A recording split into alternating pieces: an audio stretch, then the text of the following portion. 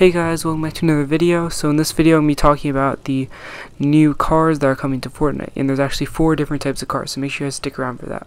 So before we get into that, only 2% of you guys watching this right now are subscribed, so make sure if you have not already, click that subscribe button and turn on notifications so you guys do not miss a single video. Okay, so basically Fortnite, um, Fortnite Insider leaked these four different types of cars. So the first one's the Bear, the second one is the Prevalent, the third one is the Mud Flap, and the fourth one is the Whiplash. And these are the four different types of cars that you guys will be able to drive in the upcoming update of Fortnite. So pretty much these cars are going to be filled up with these gas tanks right over here, and this is what it's going to look like.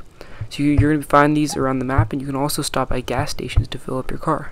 So this is the fuel tank capacity for each of the cars, and I think they're just in order of, I mean, you can pretty much already tell what they are. The large one's going to be the truck. The Dagwood truck is actually going to be that, like, really big truck. The medium is probably going to be that, uh, that medium-sized car. And then the small one's probably going to be the sports car, which is the Whiplash. And that goes for all of them. And same thing with the car health.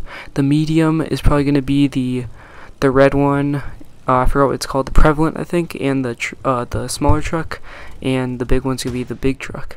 And they said, Epic is currently releasing major Fortnite updates every two weeks on Tuesday.